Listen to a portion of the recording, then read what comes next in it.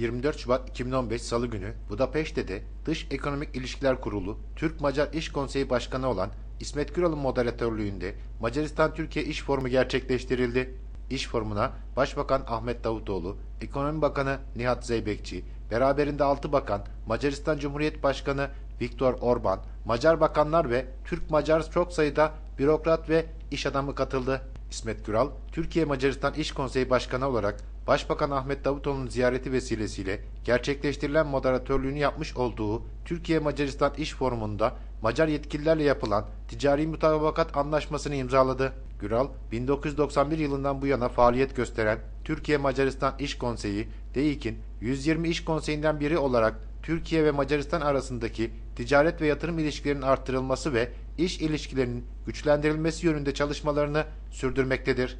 İnanıyorum ki bugünkü iş forumunda imzalanan iyi niyet anlaşması her iki ülke iş adamları için uygun bir platform sağlayacaktır.